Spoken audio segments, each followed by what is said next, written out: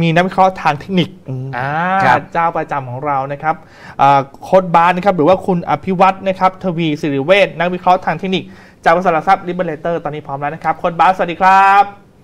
สวัสดีครับสวัสพี่ดีเอกครับครับพี่โจครับสวัสดีครับครับนักลงทุนครัทุบกท่านนะครับอ่าครับคำถามแรกก่อนแล้วโค้ชบาสดูดูภาวะตลาดตั้งแต่วันจันทร์จนถึงวันนี้และเริ่มใช้ uptick มาดูดูภาพตลาดเซ็ตบ้านเราปริมาณการซื้อขายมันดูเริ่มเสถียรหรือยังครับ ก็เริ่มเห็นการปริมาณกับวอลุ่มการซื้อขายที่แบบเอ่ออยู่ในจุดที่ว่าเหมาะสมแล้วนะครับก็อยู่แถวๆเห็นได้ว่าปริมาณวอลุ่มการซื้อขายเนี่ยจะลดไปประมาณ 4,000 5,000 ล้านบาทต่อวันนะครับ ก็ครับครัต้บองบอกว่าลดลงมาพอสมควรเลยนะครับ ก็ตอนนี้อยู่ที่เทรดแถว 20,000 นิดๆนะอืมนะครับอืมก็อืม ปริมาณวอลุ่มการซื้อขายก็ลดลงลดลงอย่างมีนัยสำคัญครับ อือืมมเขาบอกว่าคนที่เล่นช็อต หันไปเล่นตลาดล่วงหน้ากัน คนบานดูทิศทางแล้วเป็นยังไงฮะ ก็ต้องบอกว่าเอ่อสำหรับภาพตัวเซ็ตเด็กในช่วงนี้เนี่ยนะครับคือทิศทางเนี่ยตอนนี้เนี่ยเริ่มเห็นสัญญาณการฟื้นตัวมาบ้างเล็กน้อยหลังที่ก่อนหน้านี้ลงมา 4 วันติดต่อกันใช่ไหมครับอืมอืมแล้วก็วันนี้เนี่ยเกิดการ rebound กลับเป็นครัวันแรกนะครับ ก็ มา rebound ตรงบริเวณโซนแนวรับด้านล่างพอดีเลยนะครับ แถว 1290 นะครับหรือ285 ตรงนี้เนี่ยครับเป็นฐานตัวเดิมของรอบนะครับ ก็ต้องบอกว่ามีโอกาสนะครับที่จะได้เห็นการฟื้นตัวสำหรับดัชนี SET Index ในรอบสั้นนะครับมีอืมสามารถลุ้นการฟื้นตัวกลับขึ้นไปนะครับ เพราะว่ารอบนี้เริ่มเห็นสัญญาณการฟื้นตัวกลับเข้ามาเล็กน้อยแล้วนะครับ ก็ลุ้นฟื้นตัวกลับครับสัปดาห์นี้ครับครับครับดูแล้วแนวรับของเซต ยังอยู่อยู่ที่เท่าไหร่ครับตอนนี้ ก็แนวรับเซตนะครับ คือฐานโลเดิมเลย ฐานโลเดิมคือ1285นะครับอืมสำหรับรอบครับนี้นะครับก็อีกทีเนี่ยแนวแกปก็คือ 1270 นะครับ ครับครับครับอืมครับบอกที่บอกว่าเซตมีโอกาสเด้งกลับแล้วแนวต้านอยู่ที่เท่าไหร่ครับในระยะสั้น แนวต้านระยะสั้นเนี่ยครับก็คือจุดที่นักลงทุนหลาย ๆ คนมองกันนะครับก็คือ 1,300 จุดนะครับ ก็เป็นแนวต้านระยะสั้นแต่ว่า ถ้าถือเต็มรอบหน่อยเนี่ยก็จะอยู่ที่ 1325 นะครับสำหรับแนวต้านในการ rebound รอบนี้ครับ ก็กลับไปที่ครับลงมาก่อนหน้าเลยนะฮะโค้ชใช่ครับผมครับโค้ชครับวันนี้มีมีหุ้นมาฝากแฟนๆรายการช่วงปิดตลาดก่อนปิดตลาดไหมฮะว่าหุ้นตัวไหนสามารถห่อกลับบ้านได้บ้างครับ ผมก็ขอแนะนำหุ้นที่เอ่อมีโอกาส rebound ตามดัชนี SET Index นะครับในรอบสั้นนะครับ ก็เอาท่าเดียวกับดัชนี SET Index เลยนะครับ ก็เป็นลักษณะที่ว่า ราคาแตะ low แล้วก็มีแรงซื้อกลับนะครับผมแนะนำตัวแรกคือ IVL ครับผมครับ IVL เนี่ยต้องบอกว่าราคาเนี่ยมันสามารถลงมาทำฐานรอบนี้อยู่ที่บริเวณ18.9 นะครับอืมตรงนี้เนี่ยก็เป็นฐานโลเดิมของรอบก่อนหน้า แล้วเริ่มเห็นมีแรงซื้อกลับ แท่งเทียนเนี่ยเขาจะเรียกว่าเป็น bullish harami นะครับ คือแท่งเทียนสีแดงแล้วตามด้วยแท่งเทียนสีเขียวขนาดเล็กลงนะครับ แล้วก็ กำลังที่จะฟื้นตัวกลับนะครับ ก็มีโอกาสที่จะได้เห็นการฟื้นตัวกลับในรอบสั้นสำหรับตัว IVL นะครับมองว่าลุ้นเด้งสั้นได้ครับลุ้นเด้งสั้น อย่างดีนี่กลับตัวเลยอย่างน้อยผมมองมองว่าเด้งระยะสั้นนะครับอ่าอืมครับอ่าครับนอกจาก IBL แล้วยังมีตัวไหนไหมครับก็อีกตัวหนึ่งที่แข็งแกร่งกว่าตลาดนะครับ รอบนี้ผมเลือกตัว CPF นะครับ CPF เนี่ยราคาเนี่ย break out ขึ้นมาผ่านแนวต้าน 23.2 ขึ้นมาได้นะครับก็ครับคือเป็นลักษณะการ break ทำ high ใหม่ต้องบอกว่า CPF รอบนี้แข็งแกร่งกว่าตลาดค่อนข้างเยอะนะครับ ดังนั้นเนี่ยก็มีโอกาสที่ได้เห็นการปรับตัวขึ้นต่อนะครับ ก็แนวต้านถัดไป 24 บาทถึง 25 บาทนะครับ ก็เป็นหนึ่งหุ้นที่แข็งแกร่งกว่าตลาด สามารถเล่นได้ครับสำหรับตัว CPF นะคครับรับ ครับอืมครับ ครับกดบัสครับ แล้วกลุ่มแบงค์ครับ เห็นวันนี้ก็ตีดตัวกลับกันส่วนใหญ่นะครับผม มองแล้วทิศทางจะขึ้นต่อไหมครับแบงค์เนี่ยเอ่อมันเป็นเพียงแค่การรีบาวนะครับอืมคือระยะสั้นเนี่ยถามว่ามาดีไหมถือว่าใช้ได้เลยทีเดียวนะ ก็คล้ายๆกับดัชนีเซ็นเด็กที่ยืนฐานโลเดิม แล้วก็กำลังฟื้นตัวกลับนะครับ ก็มีโอกาสที่ได้เห็นการฟื้นตัวขึ้น ก็มองเด้งระยะสั้นครับ เด้งระยะสั้นอ๋อยังไม่ถึงขั้นกลับตัวรอบหลักครับผมครับครับครับอืมอ่าหุ้นหนึ่งตัวเห็นบวกมาแรงๆหลาย ๆ วันออโรล่าโค้ดมองยังไงครับ ออร่าครับ รอบนี้คือดีดตัวขึ้นมาแรงมากนะครับอืมคือลักษณะที่ว่าเออเป็นลักษณะพานิ c บายรอบสั้นเลยนะครับ คือแท่งเทียนเขียวสามแท่งติดต่อกัน แต่ว่าล่าสุดเนี่ยมันขึ้นมาชนแนวต้านสำคัญนะครับที่ 13.6อ่านะครับแล้วก็เริ่มครับเห็นแรงขายที่ระดับดังกล่าวนะครับ ผมก็มองว่ามีโอกาสที่จะได้เห็นการย่อตัวระยะสั้นเกิดเกิดขึ้นได้นะครับสำหรับตัวออร่าในในรอบนี้นะครับ ก็มีโอกาสย่อครับมีโอกาสย่อหลังจากที่ไม่ผ่านแนวต้าน 13.6 ยกเว้นผ่าน 13.6 ได้เมื่อไหร่เนี่ย ถึงจะเป็นการกลับตัวในภาพใหญ่ครับผมครับครับครับครับ ตัวนี้โค้ดต่อเท่าไหร่ครับแนวรับ ก็สำหรับตัวออร่าเนี่ยแนวรับจะอยู่ที่ 12.8 กับฐาน 12 บาทนะครับโอ้อืยมลึกเลยลึกเลยครับอ่าอ่านั้นแฟนรายการใจเย็นนิดนึงค่ะอ่านะครับขอถามอ่าตัวไทยออยล์หน่อยครับ ผมเทคนิคเป็นยังไงครับไทยออยล์เทคนิคสวยครับ สวยใช้ได้เลยทีเดียวนะครับ คือราคาเนี่ย breakout ขึ้นมาปรับ ทำ high ใหม่ของรอบอืมนะครับ ก็พยายามที่จะดีด high ขึ้นมานะครับ อยู่ที่แถว 55.25 55.50 ตรงนี้เนี่ยอยู่ในช่วงระหว่างทางของการขึ้นนะคครัรับบดังนั้นเนี่ยอืมโอกาสการปรับตัวขึ้นต่อเนี่ยยังมีค่อนข้างสูงนะครับวางแนวต้านถัดไป 57 บาทถึง 60 บาทสำหรับรอบนี้ครับ ครับผมครับอะอีกตัวครับโอสดสภาครับ OSP มองไงครับโค้ด OSP ตัวตัวนี้ก็ใช้ได้เช่นเดียวกันนะครับ คือแนวโน้มโดยรวมเนี่ยแข็งแกร่ง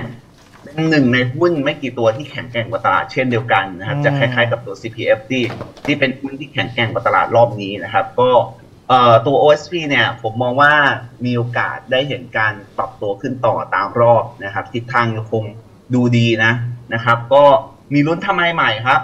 24 บาท แล้วก็อีกที 25 บาทแนวต้านถัดไปครับผมครับ นี่มีแฟนรายการถามหุ้นร้อนเลยฮะ หลายท่านถามมาว่า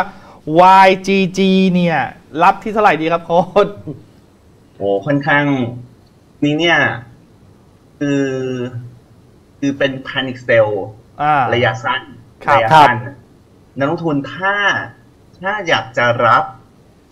จริง ๆ เนี่ย มันจะมีหุ้นตัวหนึ่งที่ที่คล้ายๆตัว YGG ก่อนหน้าเนี่ยที่มันอ่า N เป็นลักษณะการลง NRF ปิดไหมใช่ใช่ใช่ผมจะพูดถึงตัวนั้นพอดีเลยครับ ใช่ไหมคือ NRF ถูกต้องครับถ้านักลงทุน NIF NIF ใช่ครับนักนักนักลงทุนอยากจะเล่น เกาปิ้งอย่างเงี้ย คือ เอ่อรอให้มันติดฟอร์อ่าแล้วรอให้มีแรงซื้อกลับอ่าคือคือให้ให้หยุดลงก่อนนะ คือคือถ้าฟอร์อย่างเงี้ยมันมันมีโอกาสฟอร์ต่อ แต่ว่าเดี๋ยวรอดูนะครับ ถ้ามันมีแรงซื้อกลับเมื่อไหร่ ค่อยเข้าไปเล่น ค่อยเล่นเด้งอืมนะครับแต่ถามว่าตัวเลขเป๊ะๆเนี่ยคงคงบอกได้ยากนะครับ คง อันนี้มันเป็นฟอร์ที่สองแล้วครับถ้าแบบ ครับถ้าคนทั่วๆไปเขาพูดกันก็คือสามฟอร์หนึ่งหนึ่งลิ่งอะไรเงี้ยนะครับ ผมก็มองว่า ก็เดี๋ยวรอแรงซื้อกลับเข้ามา ค่อยเล่นเด้งดีกว่า แต่ว่าถามว่าอันตรายไหมต้องบอกว่าอันตรายนะมต่อเอ่อก็ต้องให้นักลงทุนระมัดระวังการเล่นหุ้นพวกนี้ด้วยนะครับครับอืมคครัรับบอะครับก็ยังบอกไม่ได้ลองดูสัญญาณกันต่อแล้วกันนะครับอ่ามีพี่สมเด็จครับถามว่าสกายสกายโค้ดมองยังไงครับ ไม่ดีครับ ไม่ดีครับ แนวโน้มสกายเนี่ยเอ่อปรับตัวหลุด ระดับแนวรับ 24.7 ลงมาเนี่ย ก็ทิศทางดูเป็นเชิงลบเลย แล้วก็ล่าสุด ล่าสุดเนี่ยของตัวสกายนะ เป็นการทำโลใหม่อืมในรอบกว่าเกือบหนึ่งหนึ่งปีหนึ่งปีอ่าหนึ่งปีนิดๆนะครับ อย่างนี้เนี่ยทรงเนี่ยไม่ค่อยดีทรงไม่ค่อยดีนะมีโอกาสที่จะได้เห็นการชะลอตัวลงในรอบสั้นนะครับ ก็มองเข้าสู่รอบการลงครับ ไม่แนะนำครับตัวนี้ ครับอืมครับผมครัอะบตัวอีกตัวหนึ่งครับ CKP ครับโค้ดมองยังไงครับ ได้ตัวนี้ใช้ได้นะครับ CKP ปรับตัวบวกขึ้นมา แต่ว่าผมมองว่าจังหวะขายนะ เป็นจังหวะขาย จะตันแล้วใช่ไหมฮะอืมอ่า อัพไซด์มันเริ่มจำกัดนะครับ หลังที่เข้าใกล้แนวต้านแถว 4 บาทนะครับแถว 4 บาทนะ4บาท 6 สตางค์4บาท 10 สตางค์เนี่ย รอบนี้เนี่ย ก็มีโอกาสเห็นการชะลอตัวที่ระดับดังกล่าวคือ ขึ้นมาให้เทคโปรฟิตมากกว่าครับ ครับครับอ่าครับเอ่ออีกสักตัวครับซิริครับมองยังไงครับโค้ดพี่ลีเนี่ยตอนแรกเนี่ย ถ้านักลงทุนจำได้ตอนที่มันเปิดแอปนะครับ กระโดดขึ้นมาเนี่ยเมื่อวันที่ 24ครับตอนนั้นเนี่ยผมผมมองว่านึกว่ามันจะย่อปิดแกลบแต่ว่ารอบนี้ไม่ย่อครับ ไม่ย่อปิดแกลบเปิดแกลบทิ้งไว้ที่บริเวณ1.63 ถึง 1.65 ครับ อย่างนี้ค่อนข้างดีนะ อย่างนี้ค่อนข้างดี ดังนั้นเนี่ยตัว SIRI ผมผมมองว่ามันเปลี่ยนโซนเล่นแล้ว ตอนแรกเนี่ยโซนเล่นเดิมเนี่ยมันอยู่ที่ 1.59 ถึง 1.63 ตอนนี้เนี่ยขยับขึ้นโซนมาเป็น 1.66 ถึง 1.70 ก็ trading ได้นะครับโซโซโซนกรอบนี้นะครับ แล้วก็ยังลุ้นไปต่อด้วยครับสำหรับตัวแสนสิริแต่ว่า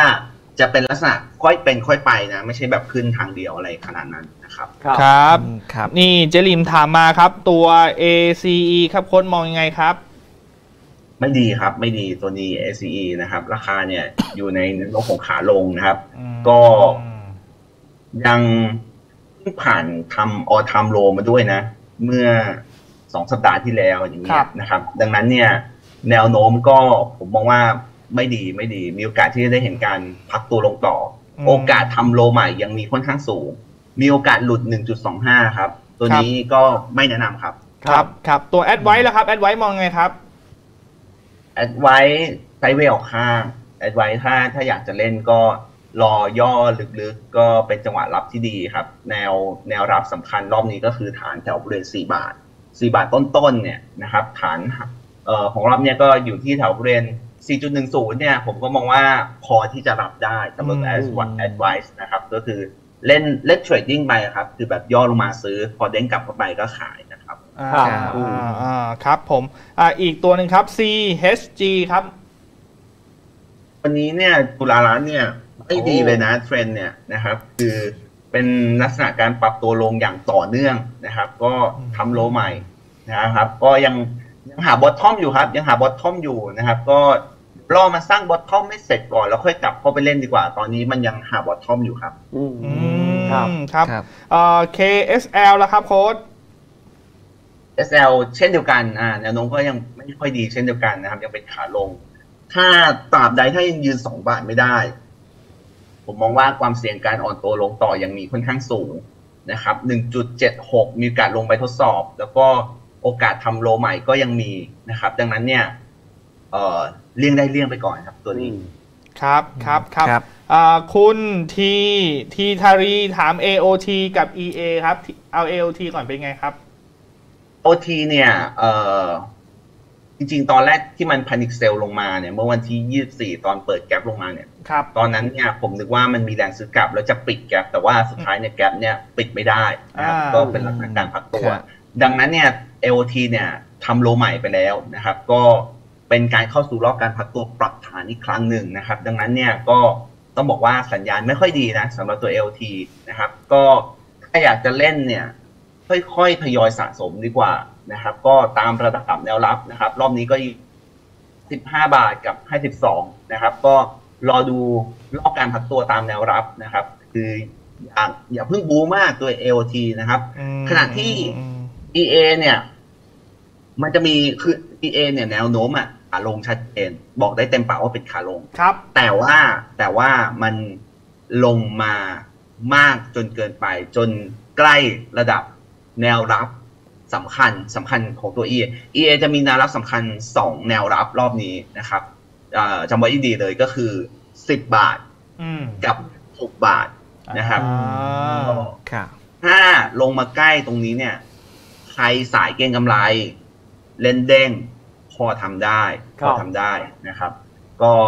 จะเห็นได้ว่าตอนที่มันลงมาใกล้ 10 บาทก็มีแรงซื้อกลับให้เห็นบ้างเล็กน้อยขึ้นมานะครับ แต่ว่ามันก็ยัง ยังเด้งไม่ไม่เต็มที่นะครับ ก็รอดูนะครับ รอดูรอบการพักตัวในครั้งนี้ ก็ถ้าลงมาใกล้ 10 บาทอีกรอบนึง แล้วอยากจะเล่นก็สามารถทำได้ แต่ว่าถ้าหลุด 10 บาทต้องเลิกเล่น เพราะว่ามันจะไปเจออีกทีฐาน 6 บาทนะครับ อืมอืมครับอืมอืมอ้าวนะครับ พี่สมโชคถามตัว BBGI ครับ มองไงครับโค้ดดีใจดีครับ โอ้ใช้ได้เลยตัวนี้โอ้นะครับกำลังทำไฮใหม่นะครับ ของรอบมงตั้มแข็งแกร่งนะครับตามรอบมีการที่ได้เห็นการ ปรับตัวขึ้นต่อแนวต้านถัดไป 7.3 ครับสำหรับตัว BBGI ใช้ได้ครับอยู่ในช่วงระหว่างทางของการขึ้น แต่ว่าก็ไม่แนะนำให้ไล่ราคาแถวนี้แล้ว จะเหมาะสำหรับนักลงทุนที่มีอยู่แล้ว แล้วรอขายทำไรมากกว่านะครับ ครับครับครับครับอ่าคุณมดบอกว่าเจปาร์คทุน 6 บาท 16 ตังค์ควรออกหรือถือต่อดีคะเออเจปาเอาอย่างนี้ครับ เล่นเล่นอย่างนี้ ถ้ามันมีแกลบแกลบตรง 7.5 ครับ ปิดแกลบ7.5เมื่อไหร่เลิกเล่นอืไม่ปิดหรือยาวไปต่อไปลุ้นเจ้าบาทครับอืมครับ แต่เขาครับ ทุนเขาอยู่ 6 บาท 16 ตังค์ครับโค้ดควรควรจะคัดก่อนหรือ หรือยังไงดีครับ หรือทัวร์หรือยังไงฮะ ยังไม่ต้องคัดครับคือถือไว้ได้ถือไว้ได้ รอจนกว่าราคาหลุด 7.5 ค่อยคัด อ่า หรือว่าถือลุ้นไป 9 บาทค่อยขายนะครับ อ่าโอเคอ่าเออนี่เขามีกำไรอยู่นะครับ นะครับอะอีกตัวหนึ่งครับ COM7 โค้ชมองไงฮะ ตันยังตัวครับ ตัวต้องบอกว่าเป็นสัญญาณการกลับตัวสำหรับตัว COM7เรียกว่าเป็น double bottom นะครับคือเอ่อแต่ว่าแต่ว่ามันขึ้นมาถึงเป้าแล้ว 19.1นั่นเลยเป้ามาด้วย รอบนี้ ก็จะมีแนวต้านอีกแนวหนึ่งนะครับ ซึ่งรอการเบรกอีกรอบหนึ่ง COM7ผ่านได้ถึงจะเอ่อเปิด upside ในการปรับตัวขึ้นต่อนะครับ แนวต้านถัดไปคือ 19.7 ครับครับ ถ้ายังไม่ผ่านตรงนี้ยังมีโอกาสพักตัว แต่ว่าถ้าผ่านเบรกผ่านได้เมื่อไหร่เนี่ย upside จะถูกเปิดนะครับครับอืมอืมอะเอ่อตัว KTB แล้วครับ เห็นวันนี้ขึ้นมาแรงๆ น่าสนใจไหมครับ KTB ได้ครับ KTB ก็เป็นแบงค์ที่ค่อนข้างดีในระดับหนึ่งนะครับอืมคือรอบเป็นลักษณะการแกว่งตัวแบบไซด์เวย์อัพนะครับ ดังนั้นเนี่ยมีโอกาสที่ได้เห็นการขึ้นแตะไฮเดิมที่ 17.7 แล้วก็อีกทีเดียวลุ้นทำไฮใหม่ที่ 18 บาท เล่นได้ครับ KTB นะครับ แต่ว่าก็จริงๆเนี่ยมันต้องเล่นตอนมันย่อแถว 17 บาท 16 8เนี่ยนะครับ แต่ว่าตอนนี้มันดีดขึ้นมาแล้วอืมดังนั้นเนี่ยค่าก็ใครที่อยากจะตามก็พอลุ้นได้นะครับ ไปรอขายที่แนวต้าน18 บาทครับผมครับครับผมครับอะครับตัว True แล้วครับ True ยังไปต่อไหมครับโค้ดหรือว่าตันแล้วไปมองไปต่อครับ ผมมองไปต่อออ่าคือที่มองไปต่อเพราะว่าเออ ราคาเนี่ยมามาย้ำตรงแนวต้านตรง 8.8 8.9 หลายรอบแล้วนะครับครับคือถ้าให้ให้ระยะเวลาเนี่ย ผมมองว่าตัวทูเนี่ยนะครับ มีโอกาสยืน 9 บาทรอบนี้นะครับอ่าก็ยังเป็นหุ้นที่แนวโน้มแข็งแกร่งครับมีโอกาสโตขึ้นต่อนะครับครับไหนๆก็ถาม True แล้ว Advance แล้วครับ ดูทรงคล้ายๆกันเลยไอ้วันก็จ่อเบรกครับจ่อเบรกแนวต้าน10 212 เนี่ยมันเทสมาหลายรอบแล้วครับเทสมาอืม โอ้โหหลายหลายรอบเป็นใช่เกือบใช่จะหลายวันแล้วครับสิบกว่าวันแล้วเนี่ยยังไม่ผ่านตรงนี้สักทีหนึ่งผมมองว่าแนวต้านเนี่ย ตรงนี้เริ่มช้ำแล้ว ก็มีโอกาสที่ได้เห็นการปรับตัวผ่านระดับตรงนี้ไปได้นะครับ ก็สังเกตจากการเอ่อแกว่งตัวเนี่ยรอบนี้ก็เห็นการยกฐานสูงขึ้นอย่างต่อเนื่อง ดังนั้นเนี่ยเอ่อถ้าให้ระยะเวลาก็ลุ้นผ่าน 212 นะครับสำหรับตัว Advance นะครับ ครับ ครับ ครับ ตัวฮาน่าครับโค้ดบาสครับ หาหน้าเอ่อรีบาวระยะสั้นนะครับ ก็ทำได้ค่อนข้างดีนะครับอืมหลังจากที่เอ่อเมื่อวานนี้ลงมาแรงวันนี้ก็รีบาวกลับคืนแรงเช่นเดียวกันนะครับแนวโน้มสำหรับตัวฮาน่าเนี่ยภาพเนี่ยเป็นลักษณะการไซด์เวย์ถึงไซด์เวย์อัพนะครับ ก็ย่อลงมารับเล่นรอบได้ เด้งกลับขึ้นมาก็ให้ขายนะครับ ก็ แนวต้าน 47ถึง48.25 นะครับ ครับครับ ครับ มีคุณจุธาจุธภาจุธาภาถาม PTT GC ครับโค้ดมองยังไงครับ นี้เนี่ยเอ่อผมมองบอททอมตรง 29 บาทลุ้นอืมเป็นบอททอมได้อืมลุ้นได้นะครับ เพราะว่าราคาเนี่ยลงมาค่อนข้างเยอะในระดับหนึ่ง แล้วก็เริ่มเห็นการฟื้นตัวกลับเด้งมานะครับ แต่ก็ยังไม่ลงมาแตะโลเดิมอีกครั้งหนึ่งก็ถือว่า เริ่มเห็นการยกฐานบ้างเล็กน้อย ดังนั้นเนี่ย ใครจะเล่น GC นะครับ เอ่อให้แนวตัดสินใจเลย 29 บาท หลุดเลิกเล่นไม่หลุดถือกลับตัวครับอ่าอืมครับนะครับครับอ่ามีคุณกายถาม BTS ครับโค้ดมองยังไงครับ BTS เดี๋ยวรอก่อนครับ BTS เนี่ยลงมาโอ้โหหนึ่งสองสามสี่ห้าหกเจ็ดวันติดต่อกันแล้วอืมเอ่อก็ มันเบรกโลใหม่อะมันทำโลใหม่อืมอืมเดี๋ยวรอแรงซื้อกลับค่อยหวดกลับครับ รอรอแท่งเขียวเข้ามา ค่อยหวดกลับ ตอนนี้ปล่อยไหลไปก่อนครับสำหรับตัว BTS ครับครับดูเขาไหลเขาไหลไม่มีวอลลุ่มถูกไหมครับโค้ดจะดูแบบนี้ ใช่ครับใช่ครับ การไหลลงของตัว BTS เนี่ยต้องบอกว่าเป็นลักษณะการทยอยปรับตัวลงต่อเนื่องนะครับ ก็ทิศทางยังยังไม่ค่อยดี ถ้าดูวอลลุ่มประกอบเนี่ยนะครับ เอ่อมันเริ่มเบาบางลงเรื่อยๆเรื่อยๆก็เดี๋ยวรออืมรอแรงซื้อกลับรอแรงซื้อกลับมาค่อยค่อยงัด bottom กัน แต่ว่าครับตอนนี้ยังครับ ตอนนี้ยัง ครับอะครับไหนๆถามถึง BTS ละ VGI ครับโค้ชมองไงครับ VGI ก็เอ่อรอบนี้ rebound ได้ค่อนข้างดีนะ แต่ว่ามันยังไม่ได้เปลี่ยนภาพหลักเป็นขึ้นอะไรขนาดนั้นนะครับอืมก็อืมยังมองว่าเป็นการเด้งระยะสั้นเท่านั้น ล่าสุดติดแนวต้าน 1.55 ผ่านได้ไปต่อครับ ผ่านได้จะเปิดอัพไซด์ไปอีกประมาณเอ่อ20สตางค์เลยนะครับ ก็อยากให้ผ่านให้ได้ แต่ว่าถ้าไม่ผ่านเนี่ยก็ต้องระวังนะครับ ถ้าหลุด 1.5 มาก็ต้องเลิกเล่นนะครับสำหรับตัว VGI ครับอ่านะครับอะอีกสักตัวหนึ่งตัวสุดท้ายแฟนรายการถามมาครับ ตัวของเอ่อ BAM ครับเอ่อแบมไม่ดีเลยครับ แบมไม่เอาครับ ตัวแบมนี่ all time low all time low ทิศทางต้องบอกว่าค่อนข้างแย่นะครับ ก็เอ่อลงต่อแนวรับถัดไป7บาทนะครับทิศทางยังไม่ค่อยดีนะมีโอกาสที่จะเห็นการปรับตัวลงต่อ ก็